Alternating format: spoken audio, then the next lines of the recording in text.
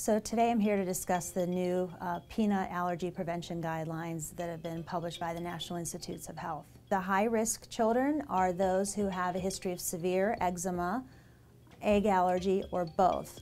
And those children should have testing to evaluate for peanut allergy, whether skin testing or blood testing. And then depending on the results, um, either can have peanut introduced at home or be referred for uh, further evaluation and possibly peanut introduced in the office. And that should be done between ages four and six months. Um, the second group, the medium risk group, are children who have mild to moderate eczema.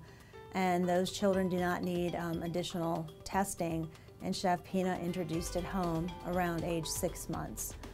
And then the third group, which is considered low risk, are those children who have no history of eczema, no history of any food allergies, and those children can have peanut introduced at home at time that it's considered, you know, uh, acceptable to the family. So whatever age they would want to introduce it, whatever is culturally acceptable for the family.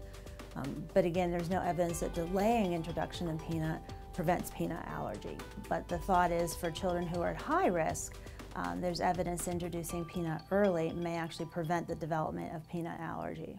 The equivalent is two teaspoons of peanut butter or peanut powder that can be mixed in um, uh, mashed fruit or mashed vegetable or thinned with water. It could be mixed in um, infant cereal uh, and that would be the way to introduce it.